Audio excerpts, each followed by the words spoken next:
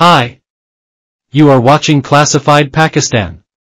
Today topic is course, relations, and distribution of both vagi in thorax.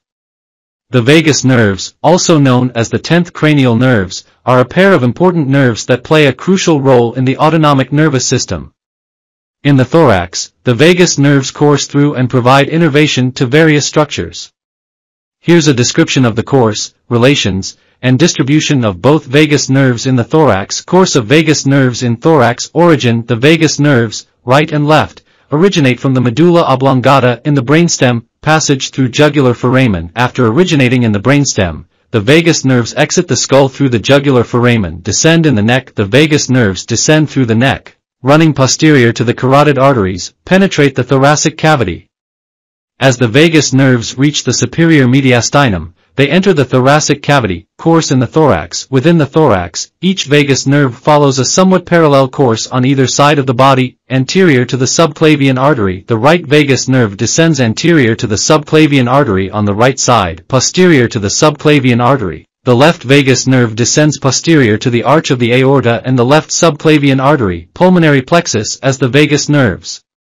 Continue downward, they contribute fibers to the pulmonary plexus, which is involved in the innervation of the lungs, esophageal plexus. The vagus nerves give off branches to form the esophageal plexus, providing innervation to the esophagus, cardiac plexus. Both vagus nerves contribute fibers to the cardiac plexus, which plays a role in regulating the heart rate, anterior to the root of the lung. The right vagus nerve passes anterior to the root of the right lung, while the left vagus nerve passes anterior to the root of the left lung, anterior to the esophagus. Both vagus nerves continue downward, anterior to the esophagus.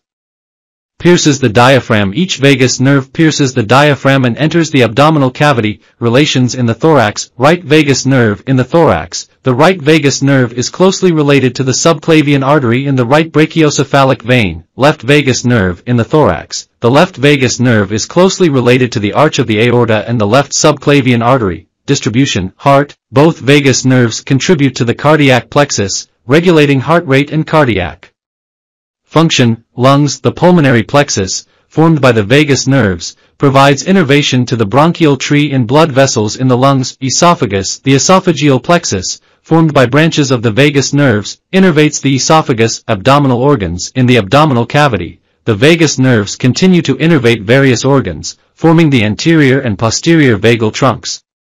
Understanding the course, relations, and distribution of the vagus nerves in the thorax is crucial for comprehending their functional roles in regulating autonomic functions, including cardiovascular and respiratory activities. Dysfunction or injury to the vagus nerves can lead to various clinical manifestations, emphasizing the importance of their anatomical knowledge in clinical practice. Thanks for watching Classified Pakistan. Please like and subscribe my YouTube channel Classified Pakistan.